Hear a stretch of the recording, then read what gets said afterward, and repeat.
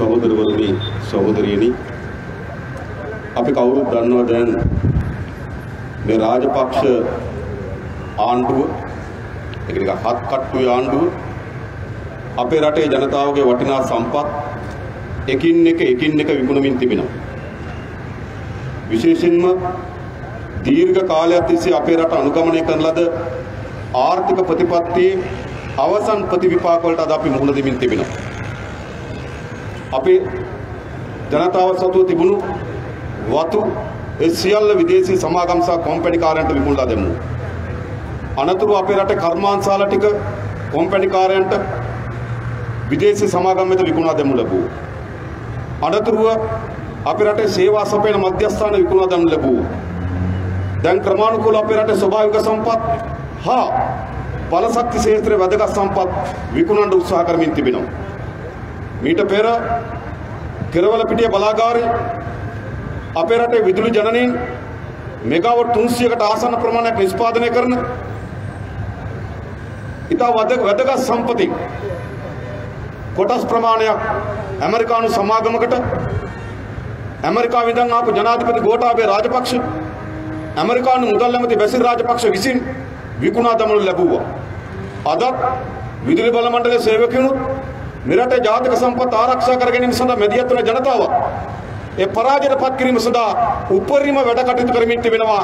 එම ගිවිසුමද ආපහු හැරවීම සඳහා අපේ පැත්තෙන් ගත හැකි හැම ක්‍රියාමාර්ගයක් ගන්න බව ඔබට සාතික කරනවා. එතරින් අතර නොවි පහුගියදා කොළඹ වරායේ බටහිර ජැටිය ඉන්දියානු අදානි සමාගමට විකුණලා දැම්මා. දැන් පිඹුරුපත් සකස් කරමින් තිබෙනවා. කොළඹ වරායේ වැටනාම භූමියෙන් අක්කර 13ක් චීන සමාගමට විකුණලා දාන්න. ඒ සඳහා බැසිල් රාජපක්ෂත් ජනාධිපතිවරයා අග්‍රාමාත්‍ය මහින්ද රාජපක්ෂත් අද කැසකවමින් තිබෙනවා අපේ රටේ වරායේ භූමියෙන් අක්කර 13ක් චීන සමාගමට විකුණලා දාන්න. අනතුරුව තමයි මොවුන් අද අත තියලා තියෙන්නේ ත්‍රිකුණාමලේ තෙල් ටැංකි සංකීර්ණ විකුණන්න.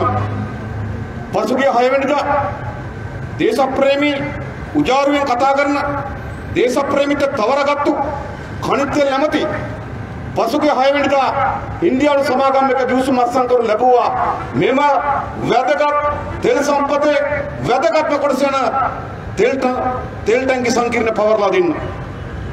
එතරින් නතර වෙන්නේ නැහැ මේ ගමන.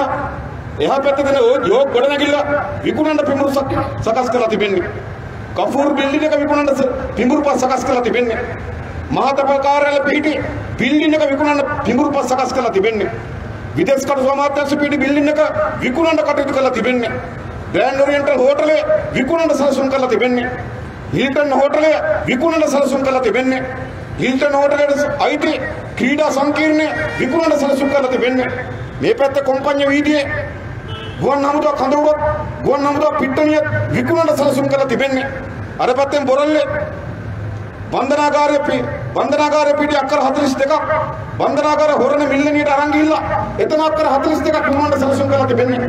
අර පැත්තේ මෙරයින් ඩ්‍රයිව් වල අක්කර 4ක් චීන සමාගමකට විකුණීම සඳහා සැලසුම් කරලා තිබෙන්නේ. එනිසා අද දේශප්‍රේමිත තවරාගෙන බලයට ආපු රාජපක්ෂ ආණ්ඩුව අපේ රට සම්පත් එකින් එක එකින් එක බහුජාතික සමාගම් වෙත විකිණීම සඳහා කැසකවමින් තිබෙනවා. අපි කවුරුත් දන්නවා රටක් කියන්නේ කුමක්ද? ඒ රටේ සම්පත්, ඒ රටේ දේපල, ඒ රටේ ජනතාවට හිමි විය යුතුයි. දැන් අපිට රටක් ඉදිරි කරන්න හදන මොන වගේ රටක්ද? වරාය ආයතන නැති රටක්, බලාගාර ආයතන නැති රටක්, වරාය භූමිය ආයතන නැති රටක්, කොළඹ ඉත වටිනා වාණිජ සම්පත් ආයතන නැති රටක්, කොළඹ ඉත වටිනා පෞරාණික ගොඩනැගිලි ආයතන නැති රටක්, තෙල් ටැංකි සංකීර්ණ ආයතන නැති රටක්, පිරිපහදු ආයතන නැති රටක්, රටක්ද? මොකද්ද මේ කරමින් තිබෙන්නේ? අපේ රටේ අනාගත પરම්පරාවට ආරක්ෂා කරලා සංවර්ධනය කරලා මේ රට ගොඩනැගීම සඳහා ඊට වැදගත් සම්පත් තමයි මේ එකින් එක විකුණමින් තිබෙන්නේ. ඒ නිසා අද මේ රටේ සියලු ජනතාවට වගකීමක් තිබෙනවා. අපි ඉපදෙනකොට අපිට අයිති තිබුණු සම්පත් අපි මේ මේ ලෝකයේ එළිය දකින්නකොට අපිට හිමි තිබුණු සම්පත් අද එකින් එක එකින් එක රාජපක්ෂගේ හත් කට්ටුවේ ආණ්ඩුව විකුණන සලසුම් කරලා තිබෙනවා. ඒ තත්ත්වය මේ කවුරු නියට හිටියත් කවුරු බකන්නලාගෙන හිටියත් කවුරු ඒවට යටත් වෙලා හිටියත් ජනතා විමුක්ති පෙරමුණත් අපේ වෘත්ති සමිති ව්‍යාපාරයක් ඒට යටත් වෙන බවත් ඒ පරාජය පත් වෙන බවත් අපි සාතික කරනවා ඒ වගේම මේ ගමන තෙල් ටැංකි සංකීර්ණය බේරගෙන විදුලි බල මණ්ඩලයේ වැදගත් කෙරවල පිටිය බලාගාරය බේරගෙන වරාය බේරගෙන අපේ පෞරාණික සම්පත් බේරගෙන නතර කරන්නේ නැහැ.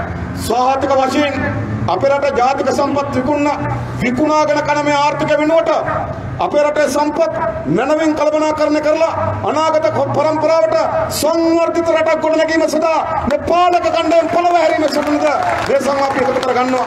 එවෙනින් අපි සියලු කටයුතු කරලා තිබෙන්නේ. ඒ නිසා මේ රටේ පුරවැසියන් අපි ඉල්ලා හිටින්නේ. මේ රටේ දේපොළ විකුණාගෙන කන මේ දේශපාලන පලන්තිය එක්සත් ජාතික පක්ෂ ආණ්ඩුව පෞගේ කාලේ පුරාවටම අපේ රටේ දේපොළ විකුණලා ජීවත් වුණා. අද රාජපක්ෂගේ ආණ්ඩුව අපේ රටේ සම්පත් කුලද ජීවත් වෙන්න පටන් අරගෙන තිබෙනවා. ඒ නිසා මේ ක්‍රියාදාමය නතර කිරීම සඳහා පෙරට එන්න ඉදිරියට එන්න කියලා ආරාධනා කරමින් මම නතර වෙනවා. බොහොම ස්තුතියි හැමදෙනාටම ජය වේවා කියලා ප්‍රාර්ථනා කරනවා.